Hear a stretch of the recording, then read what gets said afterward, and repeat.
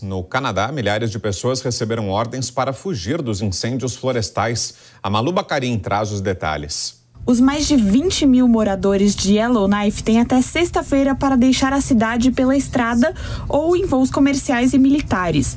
Mais de mil incêndios florestais estão ativos no Canadá.